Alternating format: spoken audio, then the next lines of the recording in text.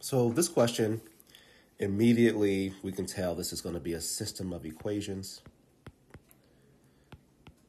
which pretty much always shows up at least once, typically more than once on these tests.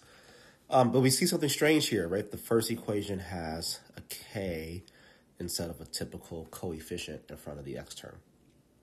So let's let's look, read the question, see what they're asking us to do. Remember that for systems of equations, we're typically going to need to use either elimination or substitution. So the question says, in the system of equations above, k is a constant and x and y are variables. For what value of k will the system of equations have no solution? Okay, so that's very important. What does it mean for a system of equations to have no solution?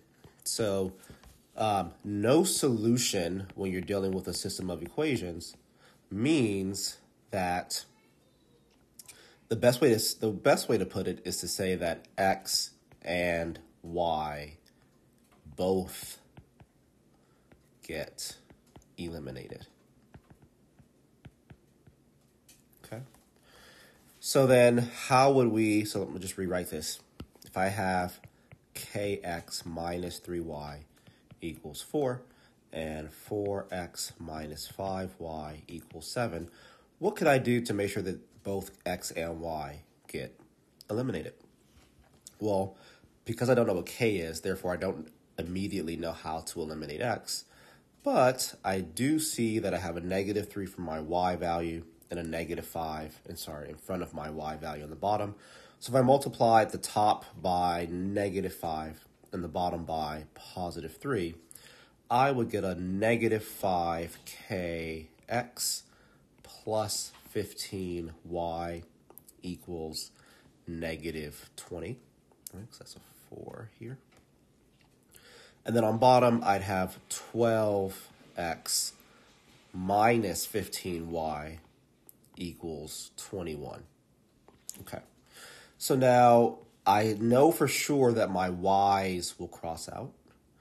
But what about my x's? I want them to cross out as well. Well, how would that happen? How would a negative 5kx added to a 12x cross out? Well, the only way that would be possible is if negative 5k equaled negative 12. Right? So if negative 5k equals negative 12, then I'd have this coefficient here would become a negative 12, and then that's how like the negative 12x and positive 12x will cross out. So let's simplify this. In order for negative 5k to equal negative 12, I can divide by 5 on negative 5 on both sides k would need to equal positive 12 fifths, right? In doing so, my x crosses out, my y crosses out, and I end up with something that says 0 equals um, 1, which is not true. And more importantly than it not being true, it is what we look for in a system of equations that has no solution, right? We look for um, a statement at the end of this where the x and y is crossed out and that last statement is not true. So because of that, k equaling 12 over 5 is what we would need in order to make the statement not true at the end here in order in order for the x values or the x and the y to both eliminate. And therefore the answer here is choice A.